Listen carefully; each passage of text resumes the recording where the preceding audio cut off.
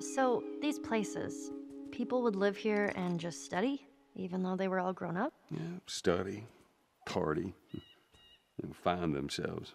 Figure out what they wanted to do with their lives. What they wanted to do with their lives.